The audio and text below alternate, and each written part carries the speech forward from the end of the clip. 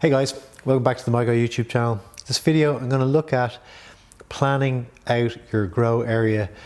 Um, if you're starting, be a guide to what sort of area in terms of grow tent size you might need, um, what light you might size, wattage light you might need for that grow tent, um, what yields you might expect, all that type of thing. There is a range in terms of performance of equipment um, ability of the users, processes that are you are using um, in terms of how much yield you can get from each of these setups. And I will try to give you a reasonable, achievable uh, guide to, um, to what you can get out of your equipment. Well, the first one, and possibly the most controversial one, is looking at yield estimates um, and no, looking at them in a number of different ways. Um, so looking at photo period versus auto flower. Um, so that's where you get on to the 12-12 cycle with photo periods for flowering and auto flower, which you can run pretty much up to 24 hours, lights on a day, uh, right through the uh, grow cycle. Looking at larger plants and smaller plants, what type of lighting you're using, and then looking at yield maybe by area, different area sizes. And so there is a range.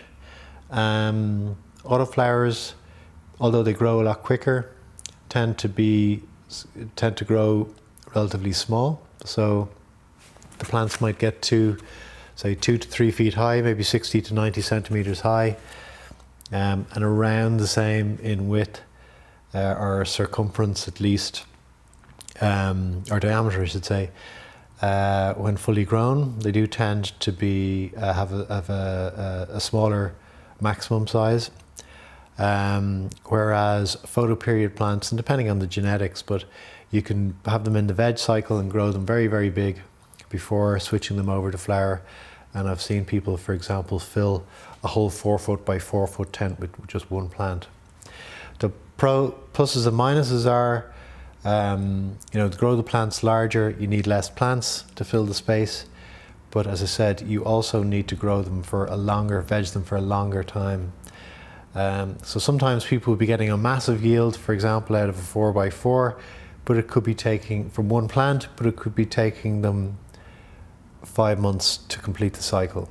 Whereas if you're growing a lot of smaller plants, even in the photo period, photo period plants, um, those plants will fill the canopy, which is your target in veg, quicker because you've got more of them growing less each to fill the space. Um, and your overall cycle time will be less. Autoflowers, uh, your cycle time for, for, for photo periods will be 16 to 20 weeks. Again, that's a rough guide. Um, about eight weeks for vegging and about eight weeks for flowering. Um, and people, some people extend that, and varieties um, perform in different ways, different genetics. that's a rough guide. Whereas autoflowers, although you may not get the same yield per plant or per square meter, um, it's a much much shorter cycle, grow cycle. So um, you know if you're getting three quarters of the yield with autoflowers out of the same space, but doing it twice as fast, there's an obvious advantage. Overall, you're going to get one and a half times per square foot per month or whatever time um, period you're, you're measuring over. So that's why I have small plants in there at 50 to 90 grams or 1.5 to 3 ounces. That's sort of a general range for, um, for that size of plant. Whereas larger plants, the range can be much higher. Um, you decide which should suit you more.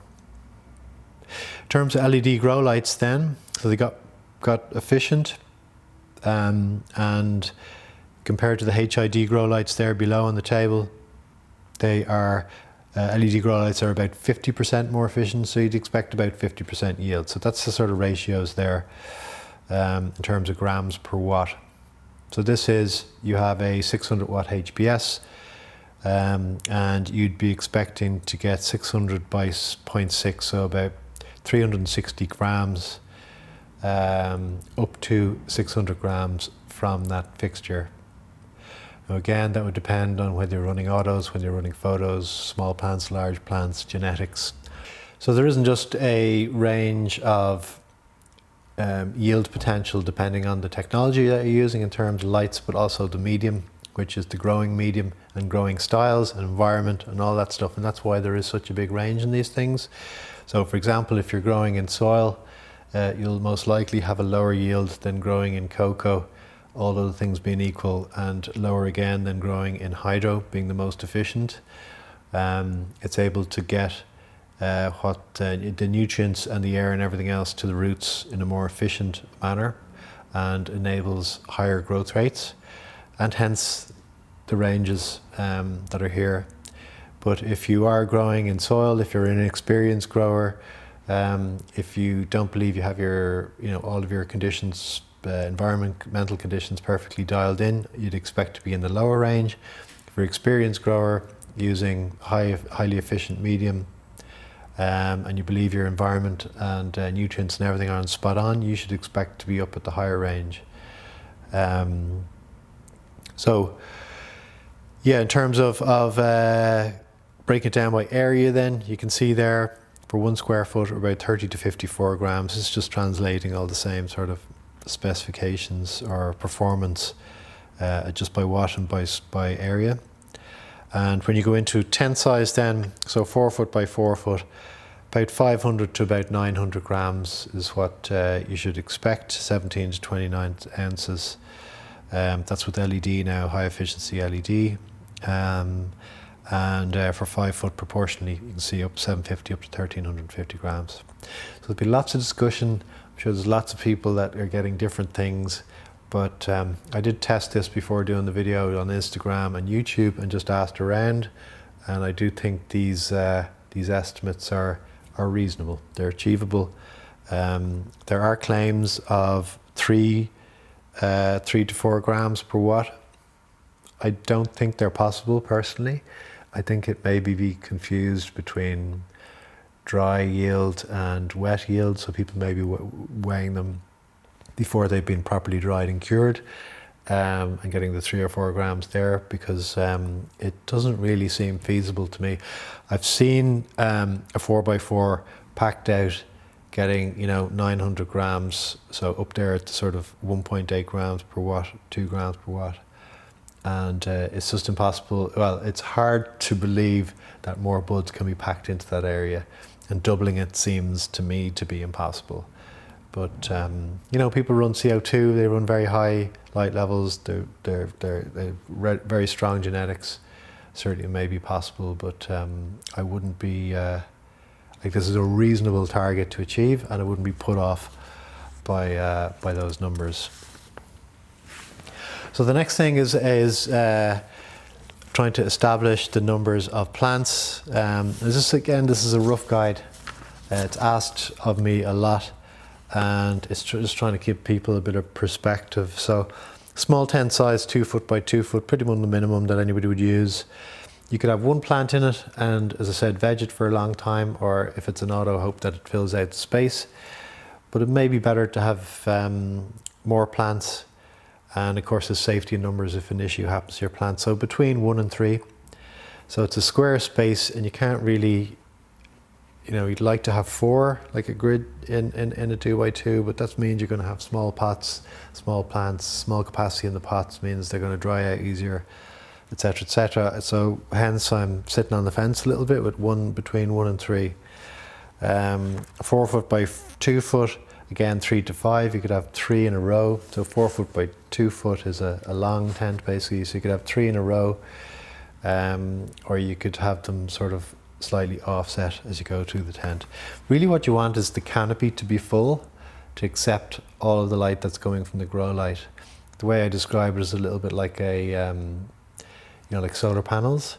You want that solar panel to be the full area um, and that think about that with leaves. You want to generate a canopy across that tent where it is absorbing all of the light shone down and none of it or the minimum amount is being wasted. Up to three foot by three foot, here's where I think the, the four plants suits very well, uh, possibly up to six um, if there's small plants or autoflowers. And four foot by four foot, minimum of four I would suggest. Um, Uh, they would be fairly large plants, each of them. They'd be filling a two foot by two foot square, which is quite big, or um, up to nine, so having a, a, a, a, row of three, column of three, and uh, up to five by five, etc. So then it's how much light do, um, do you need for these size tents. So again, there is a big range here and um, you know typically in the past people would have targeted say with HPS a 600 watt HPS and a 4x4 targets around 550 micromoles. We're not really restricted by um, the levels that we used to target with HID. That's because HID put out a lot of heat and it was more the quantity of heat you're putting into that space was the limiting factor. Now we've pushed those average power levels much higher with LEDs and therefore push the potential yield from the space much higher with LEDs. So my general guidance would be about 800 micromoles. And the reason is you can go way higher. So you can see on the green line there without CO2, added CO2, you can push it up to 1500 micromoles. You're still getting increased growth rate, but the rate the, the return rate reduces. So the amount you're getting back for the extra energy you're put in reduces. People want to grow more, I would say use more space. So add another tent, add more space, and then you're um, still staying in that maximum efficiency zone where you, um, for every watt you get, you put in, you're getting the best return in terms of growth rate per watt. You can see here, once it gets past about 800 micromoles, the rate of increase of growth in growth rate reduces uh, as you're adding more light. Now you can um, uh, add CO2 and supplement with CO2. Usually the ppm, so the parts per minute of CO2 should match your power intensity. So for example, if you're targeting 1200 micromoles, you'd target 1200 ppm of CO2. Difficulty I have with that is that it means a closed system. That means you are um, you want to keep that CO2 in the tent, not be extracting it out. So normally you need to extract air out of the tent to keep the heat down, to manage the temperature, and to draw new um, CO2 in. In this scenario, if you're using um, either canisters or the grow bags, by the way, the little mushroom bags and the sugar ones and all those are, are junk. They just don't produce enough CO2. You get very, very marginal improvements, but they're not really going to imp uh, significantly improve your performance. So really you need canisters with valves and um, sensors and all this sort of equipment. And then because you need to keep the temperature down in the tent, you want to keep the CO2 in the tent. How do you keep the temperature down? Well, normally then you'd have to use an air conditioning system which is going to recirculate the air with the CO2 in it rather than suck it out and blow it into atmosphere. So end up, it ends up being quite expensive for the CO2, for all the equipment, uh, for the air conditioning, everything else. You're really increasing your, your costs dramatically. So if somebody wants to grow more, normally I say just add um, more area to your grow. So add another tent or get a bigger tent, whatever. So in terms of light levels, I'm going to be talking about this 800 micromole range. You can of course adjust above and below that, as I've said, but uh, you'll be um, either if you go below, you're you're not using your space to its maximum. If you go above, as I said, you're you're getting a, re a reduced return. So with that in mind, uh, recommending the wattage of grow light you should have in your tent. This is purely for LEDs now. Um, for, to achieve that 800 micromoles per meter squared per second. So per square foot, it's about 30 watts of high efficiency LED. This is LEDs at around the 2.3, 2.4 usable ppf per watt. So as tested in MIGRO light tests on the channel. Um, and that translates in terms of meters squared to 330 watts. And you can see the various wattages for the various um, size areas, which would be exactly the wattages, for example, I recommend my grow so we do um, an ARAY 2 for a 2 by 2 and it's 125 watts so it just fits in. We do for a 4 by 2 the ARAY 4 which is um, 250 watts etc um, etc. So trying to uh, target the grow light size to give you the optimum setup for your grow space uh, by default. Now this, you'd be argue that the 800 micromoles is a little bit too high for auto flowers because you have the lights on all day. They're getting this intensity right through a long day. Um, and um, you could argue that you need reduced, so down to around five or 600 micromoles or less wattage for area. Um, but I think if you're buying a light that you want the capacity to do anything that hits you, so whether, you, are doing photos or auto, so this is what I'd recommend in terms of wattage, grow light wattage for um, by area. Um, yeah, a lot of information, a little bit of controversy, I'm sure, around some of the recommendations. People are going to have different experiences I'd be really interested in hearing about those. So please let me know where you think I'm off or wrong, uh, or maybe um, you know the range isn't quite accurate. I'd be delighted to hear and share your um, your yield, what you're achieving, either by area or by wattage. If you've done that calc, it'd be really interesting to hear. Um, I think a lot of new growers particularly get put off by the three and four grams per watt. I don't particularly like those targets because they disincentivize you. And then people are running around trying to find solutions to problems that don't really exist because they're actually performing really well. Um, so anyway that's a one of my little bugbears. Um, but yeah hope you enjoyed. As I said please leave the comments below. Share with other growers and uh, yeah take care